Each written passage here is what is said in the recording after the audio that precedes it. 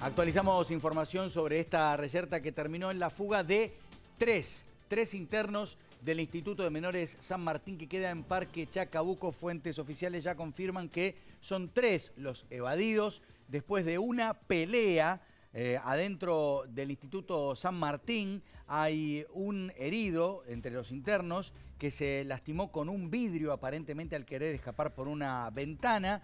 Los tres que lograron escapar lo hicieron tirándose desde el techo hacia la calle. Uno de los celadores se tiró también, ahí vemos la imagen, se tiró también para seguirlos, pero sufrió una fractura en uno de sus miembros y tuvo que ser asistido por el SAME y hospitalizado. Repetimos, son dos los heridos, un interno y un celador, y tres los fugados del Instituto de Menores San Martín de Parque Chacabuco.